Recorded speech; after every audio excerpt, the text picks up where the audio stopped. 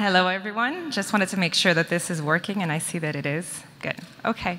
So, as uh, we were introduced, I know most of you here, or at least a great many of you, know uh, of Dr. Jason Fung and Megan Ramos very well. Um, I work with Dr. Fung and, and Megan at the IDM program, Intensive Dietary Management Program. And so today I wanted to tell you a little bit about how I ended up here. So, as I said, most of you know of these two fantastic people, but uh, almost everyone here has no idea who this African born, Canadian raised, uh, Portuguese speaking person in front of you. So, I'll, I'll start with that because that sounds interesting, right? So I graduated from CCNM, that's the Canadian College of Naturopathic Medicine, in 2004. And um, skipping ahead a few years, I started working with Megan and Jason in 2016. So what happened sort of in between? Well, basically, when I graduated in 2004, I decided that I wanted to go back to my home country, and that's Mozambique, uh, particularly Maputo, which is the city that I was born in. And Maputo is known as the pearl of the Indic Ocean. So my whole life, I left Mozambique when I was one, but my whole life, I really just wanted to go back and work there. And so I thought I would go to Mozambique and um, help starving people, right? Like probably lots of people my age that uh, were born in Africa. That was my goal. I thought I'm going to go and help uh, make Mozambique a better place. But unfortunately, uh, how do I put this? Complicated politics didn't allow for that.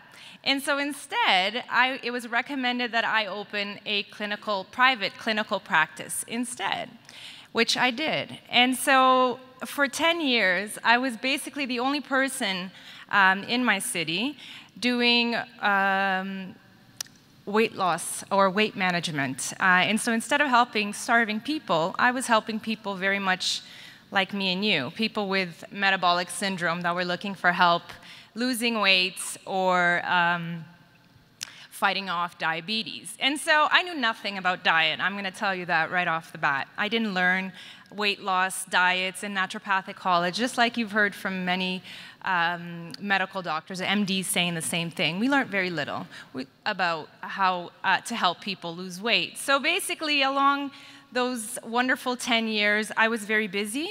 I was the only person doing this in my city, and surprisingly, there was a whole lot of people looking to lose weight and um, reverse diabetes. So I learned. I had to learn through trial and error and also because Mozambican people are wonderful and very forgiving, and they were great, uh, quote unquote, guinea pigs.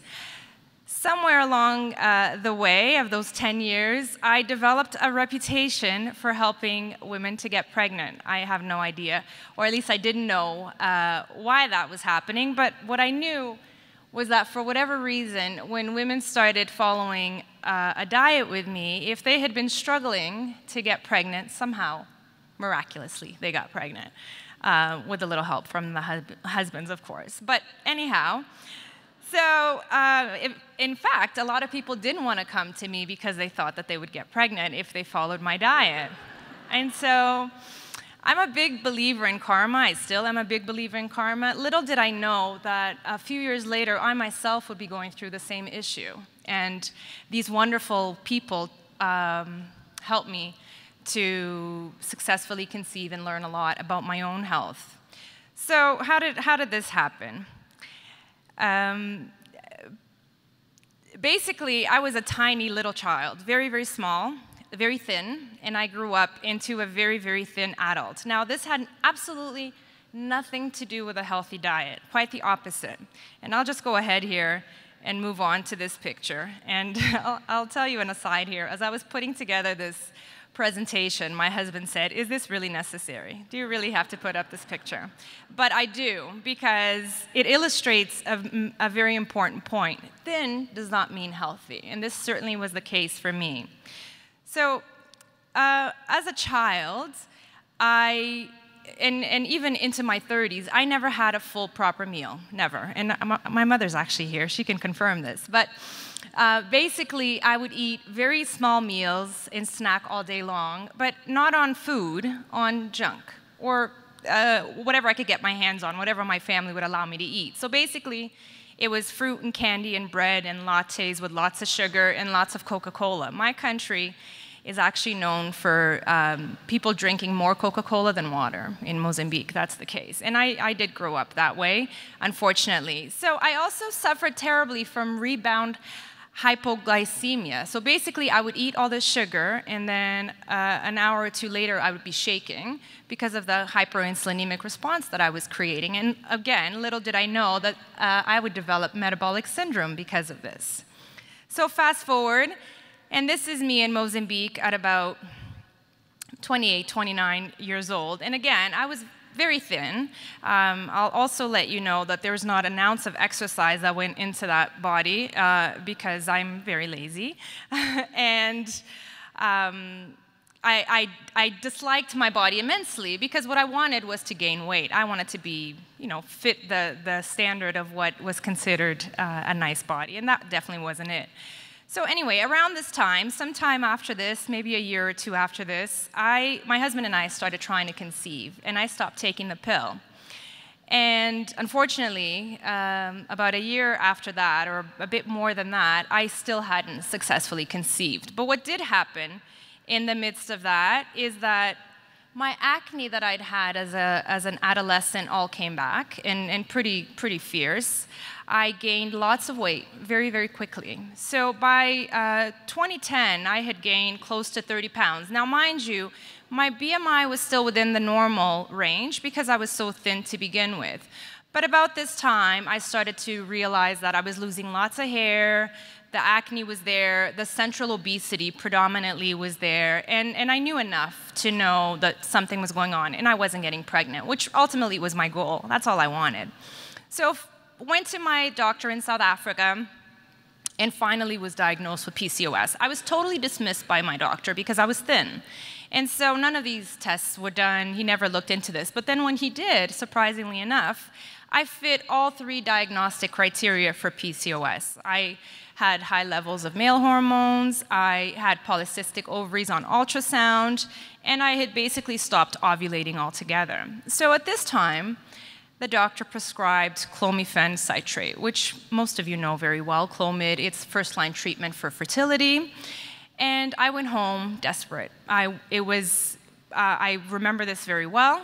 And um, what did I know then? I knew that for whatever reason, women that came to see me got pregnant when they followed a very strict uh, diet and lost weight. So that's what I did. I went home and I decided if that's what it takes to get pregnant, that's what I'm going to do. And I followed the strictest of the low carb diets that I used to give to people at the time. I used to call this a detox, quote unquote, and it was something I didn't recommend that people do very long, for a very long time, but it was a very strict low carb diet. And so that's what I did. My motivation was super high, and I did that. And in the very first month, I lost tons of weight, close to six pounds, my, which for a, you know at the time what I weighed wasn't all that much. That's a big percentage of, of weight loss. My acne cleared up, and I started to ovulate. And the very next month, I was pregnant. And so my firstborn, her name is Zinzi, was born on uh, November of 2010. Now, because I didn't know Lily at the time, the speaker just before me, and I didn't get the great and wonderful advice that I, I think she's giving people, I followed no diet uh, during my pregnancy. I basically went back to my very, very, very poor eating lots of candies, lots of chocolate, all day long, sugar, sugar, sugar. And just as Lily uh, mentioned, I did develop serious complications during my first pregnancy. It's not that PCOS women are infertile. PCOS women can get pregnant, and they do, just like I did. But they're, at, as we will talk a little bit later, at a much higher risk for many things. And so, not only did I cause myself further damage, somebody already with metabolic syndrome, but as Lily also said, I also put my children at an increased risk for metabolic syndrome.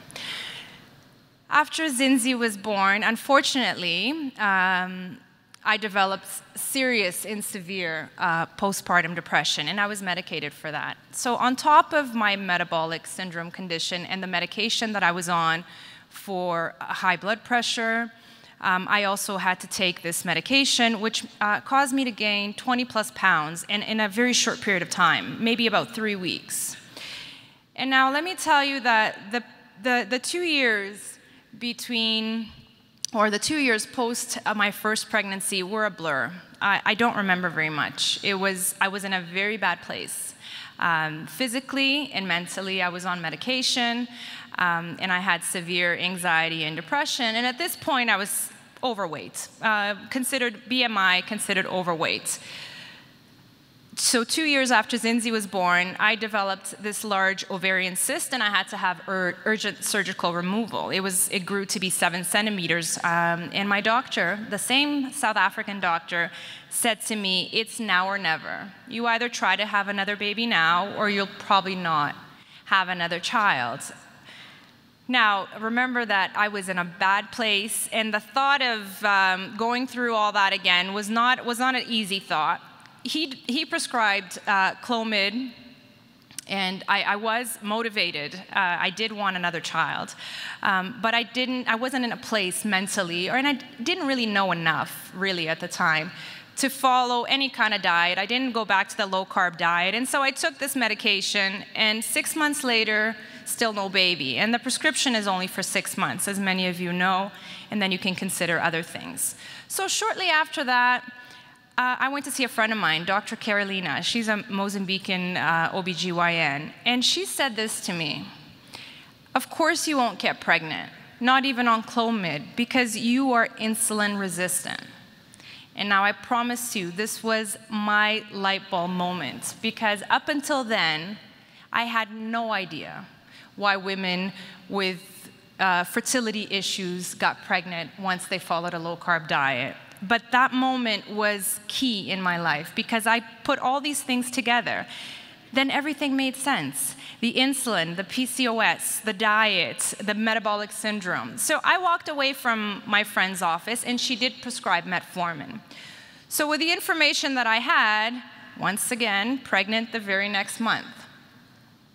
Unfortunately, same sort of thing. No diet, same pregnancy complications, but my the joy of my life, my little Zuri was born on October 2013. And so you can clearly see from that picture that there's a big difference, um, just overall, how I looked and how I felt between those two pictures in a very short period of time. There's only a few years between these two pictures. And so in 2013, I was at the very peak of metabolic syndrome. And um, during my pregnancy, my doctor did find a thyroid nodule, which later developed into follicular carcinoma. But when Zuri was born, I was in a, a place to make a decision. And at that time, I finally decided to put all my information together. And I decided then, so that was about five years ago, to follow a uh, low carb, ketogenic diet and intermittent fasting. And within just a few months, three months, maybe even less than that, I was off all of my medication. No more hypertension medication, no more metformin, no more antidepressants. Um, my weight went back to normal. My blood glucose, A1C, even my insulin levels, which I did test, were back to, to normal. But better than all of that is that my mood and my sleep stabilized as well. And so this is us now. And um, shortly after Zuri was born, I met Dr. Fung at a conference. And I guess I harassed him enough that he let me come and work with him and Megan. And I met Megan and started working in the clinics with her. And this is my family now. Zinzi is now eight, and Zuri is five. And my husband, uh, actually, since I started working with Dr. Fung and Megan, has lost over 70 pounds because he is an avid, avid faster. Uh, the very first uh, Dr. Fung video that he watched, he went, Really? This is it? Nobody ever told me this? And it's been, it's been five years or four years since I guess he started, and he looks good. And so let's talk a little bit about signs and symptoms of PCOS. So the central obesity, and, and many uh, women uh, uh, generalized obesity, the menstrual and ovulatory irregularities, and then the expressions of hyperandrogenism, so the high male hormones, the acne, the hirsutism, the male pattern baldness, in more extreme cases, clitoral enlargement, lower tone of voice. Acanthosis nigricans, which is a dark velvety patch on skin folds, which is also seen in other insulin resistant conditions. I'm going to quote Dr. Fung here because I think his quotes are, and many people think his quotes are hilarious. But uh, this is not a funny one, it's a serious one. In that he said in one of our blog posts if PCOS was just about acne and missing a few periods, then it wouldn't be so bad.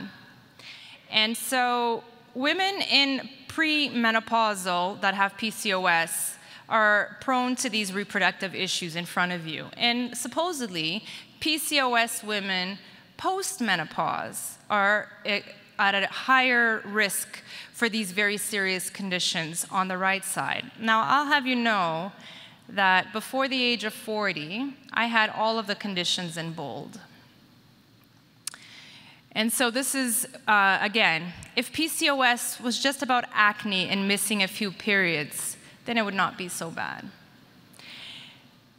And here we have associated, uh, you know, increased risk for cardiovascular disease, non-alcoholic fatty liver disease, sleep apnea, depression, anxiety, cancer, type 2 diabetes, and probably many more, Alzheimer's, and et cetera, et cetera.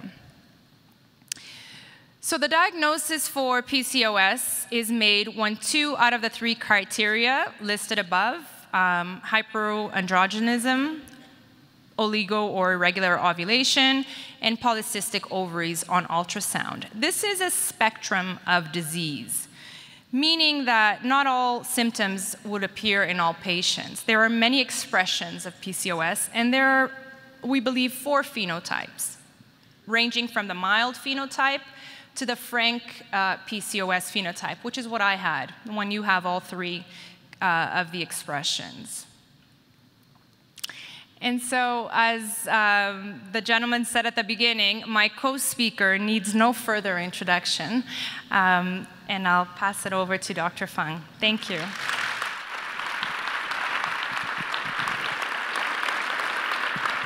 Thanks very much. Thanks very much. So, I admit before I met Nadia, I really had not very much interest in PCOS. It wasn't anything I dealt with. So if you're in medicine, you know that there's sort of silos. So I was in the internal medicine silo and nephrology. So that wasn't something that we dealt with. So it was the OB-GY, uh, OB gynecologists who would deal with PCOS. But what was interesting was that as we started treating people, a lot of people were getting pregnant. And uh, so Nadia came up to me and said, Well, you know, a lot of people are getting pregnant. I'm like, Okay, that's kind of interesting. But then I started to look into PCOS because there's obviously a correlation to what I do talk about a lot, which is insulin resistance, hyperinsulinemia. And as I sort of looked more into the pathophysiology, it just sort of struck me how illogical the whole treatment was. So I'm going to try and go over some of the pathophysiology about PCOS so you can understand it and understand how changing the diet is going to uh, improve it significantly.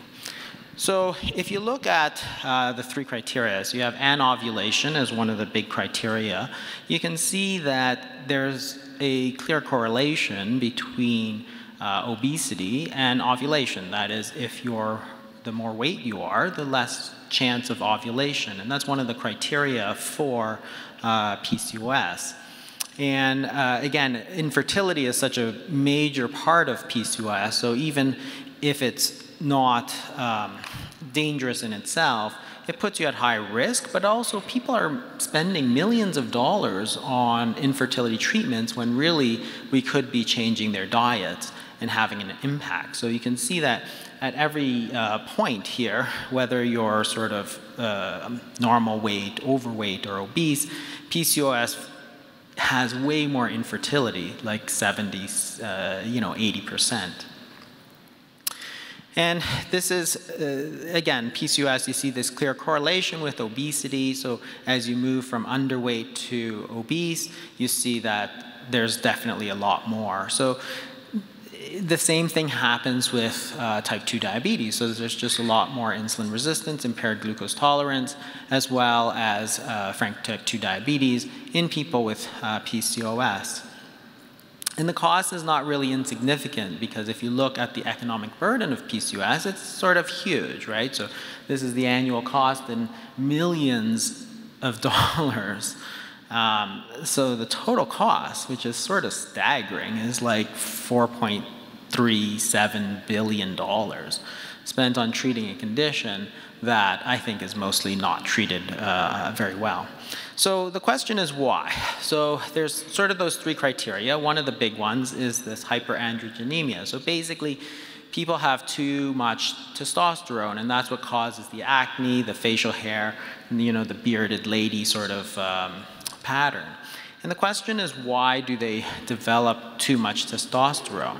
And so if you look at the pathophysiology, you can see that the testosterone, which is the main androgen in the body, is sort of produced by two places. It's produced by the adrenal gland and it's produced by the ovaries. So when they look at where people are producing too much of the testosterone, it's clearly coming from the ovaries. So it's not an adrenal problem, it's an ovarian problem. And the other thing that is contributing to this hyperandrogenemia is the low sex hormone binding globulin, which is made in the liver. So what that is, it's a binding protein to the testosterone. So normally in the blood, uh, testosterone doesn't circulate very much as a free uh, um, molecule. So it's bound up with this sex hormone binding globulin. And when there's not enough of this uh, sex hormone binding globulin, then you have more of the free testosterone, which is free to sort of make its effect. So it's just like if you think about, you know, if you're at a baseball game and everybody gets out and everybody wants to take a taxi and go home. Well, if there's not enough taxis, then everybody just kind of mills around. It's the same thing here. So the testosterone should be bound to this binding globulin. If there's not enough of it, everything, every, all the testosterone is just sort of milling around, and that's where you get the acne and all the other things. So the question is, why do you have too much testosterone? And the answer is insulin. Um, so you can see from studies that they've done uh, that the higher uh, insulin you get, the more testosterone you get. And there's a, um, effect on the liver as well, that if you have more insulin, you're going to have lower uh, levels of this uh, binding globulin. So if you look at it from a causal standpoint, you've got too much insulin, which leads to this hyperandrogenism, which is both too much testosterone and not enough of this binding globulin, which is leading to the uh, masculinizing features. The second major criteria of polycystic ovarian syndrome is polycystic ovaries, right? So that, that on the picture on the left is a normal ovary. On the right, you have all these cysts. And the question is, why are these cysts developing? So this is um, a picture of the normal sort of menstrual cycle. Um, so if you, if you look at the normal ovaries, that picture there, what you can see is that over the normal menstrual cycle, you have a development of the, you know, the, um, the, the ovary develops the egg, which is released at the end there, and then it sort of involutes, okay? So what the cysts are, are their follicular cysts. So if you look at the polycystic ovary, you see they haven't ovulated yet. They're sort of stuck in that phase before ovulation, and that's why all these cysts develop. So because you're not ovulating, you're not going to get pregnant because that egg doesn't come out of the ovary, it doesn't travel to the uterus where the sperm meets it. So everything is stuck at that uh, pre-ovulation level, and there's a lot of them. So that's why you get the ovaries. That's why you get all those cysts in the ovary. And the reason for that is something called follicular arrest. So normally, if you look at the uh, A diagram, what you get is uh, sort of this uh, developing follicle, and then you get this surge of hormone, which is LH, and then you get a pre-ovulatory follicle. That's the normal development. If you have too much insulin, so if you look at uh, the B section, so under the influence of too much insulin, uh, these follicles actually become too sensitive to the hormone. So before you get this LH surge, they've already developed, and then you get the arrest of the follicles. In other words, they're stopping at a level which is about 8 millimeters before they get to that stage where they're big enough to ovulate, which is sort of 10 to 15 centimeters. And this is the reason that you have all these follicles stuck at that pre ovulatory stage. And the ultimate cause, of course, is too much insulin. That's the bottom line. Too much insulin is causing the follicular arrest, which is causing all the cysts in the polycystic ovaries. So once again, if you look at the pathophysiology of what's happening, is that you've got the polycystic ovaries, which is caused by too much insulin. You've got the too much testosterone, which is caused by too much insulin. And the third thing is the anovulatory cycles. So, and, and that's of course caused because if you have the follicular arrest, you don't get the release. So everything is caused by too much insulin. So this obviously is really, really important because it overlaps with everything that we see clinically, which is that too much insulin or hyperinsulinemia is also very important for the development of obesity and type 2 diabetes, which are huge uh, health issues that are clearly correlated to the presence of PCOS. And it's clear, it's obvious to see why, because they're all caused by the same underlying disease of hyperinsulinemia. These are all diseases of too much insulin. So what you see is that um, in PCOS, so if we, we kind of go beyond the fertility issues and the sort of acne and so on, what you see is that there's a huge spectrum of disease you know, cardiovascular disease, sleep apnea, non-alcoholic fatty liver, which is that picture of the liver, insulin resistance, uh, type 2 diabetes, and so on. And all of them are really diseases of too much insulin. And it's not like nobody knows this stuff. So this is a review article from the New England Journal of Medicine. And in a very nice fancy picture, it shows you exactly what the problem is with PCOS. So if you look at the picture, the, the key is the hyperinsulinemia. You can see that the hyperinsulinemia goes down to the ovary, which tells it to, you know, produce more um, androgens. It blocks the sex hormone, uh, the SHBG, the sex hormone binding globulin on the left, and it causes the obesity and so on. But again, this is pretty easy to understand that everything here is really a disease of too much insulin. And this is the part that sort of logic just breaks down. Because in medical school, you learn about all this stuff, and it's like, okay, well, if too much insulin causes everything that you see in PCOS, then what's the treatment? How about Clomid? It's like, okay, like, did you not pay attention here? Too much insulin was the problem. Why are you giving Clomid, which stimulates the ovary to, uh, you know, ovulate? It's like, how about an ovarian wedge resection? It's like, uh, what? What are you talking about? Right? So, ovarian wedge resection was this sort of old time treatment for PCOS where they'd actually slice a little wedge you know, like a little piece of watermelon out of your ovary. And that was a treatment for PCOS. And why did it work? Because if you slice a little wedge out of your ovary, your ovary cannot produce as much of the testosterone. So a lot of the symptoms would get better. But again, you're not making the actual disease better because you never actually treated the hyperinsulinemia. Or you can go to other treatments like metformin sort of makes little sense, but how about birth control pills? It's like, is that going to reduce your insulin? If it doesn't, then what are you doing for this disease? Like, you gotta go back to the root cause of the disease and fix it if you wanna fix this disease.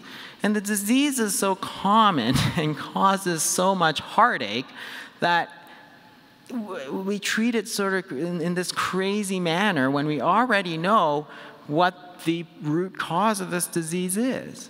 It's like it's um, too much insulin, so let's reduce insulin. that's the only logical treatment, which is why Nadia works with patients and says, oh, hey, all of them are getting pregnant.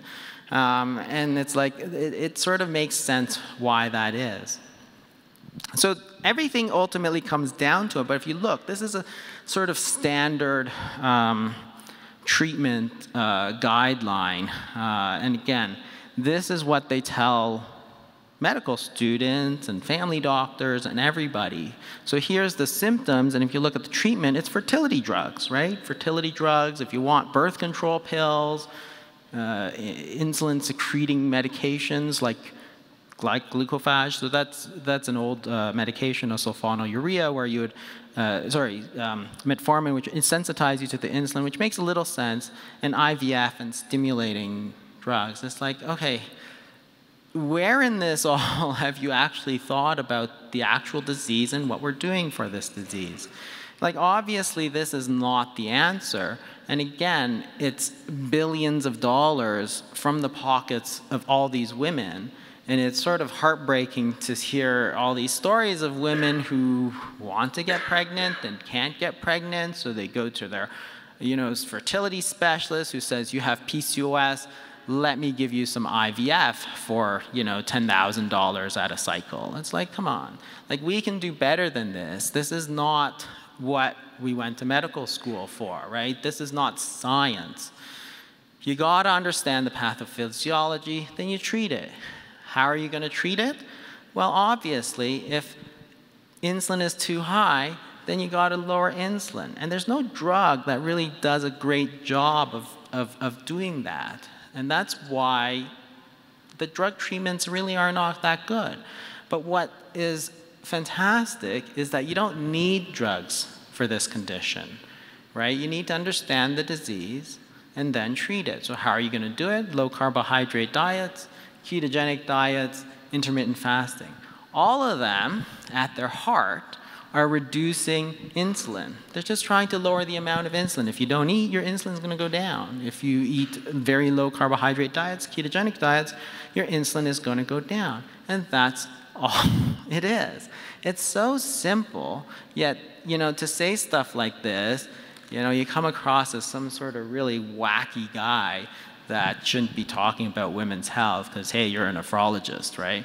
So uh, you know I, I, this was very eye-opening for me just to see that hey this is not something that is we shouldn't be siloed like this in medicine. These are diseases that need treatment understand the cause and then you can come up with a rational treatment just like in cancer for example where igf-1 is going to make a big difference. Well hey if insulin is a growth factor, maybe we should think about lowering insulin a little bit. Like maybe that might help.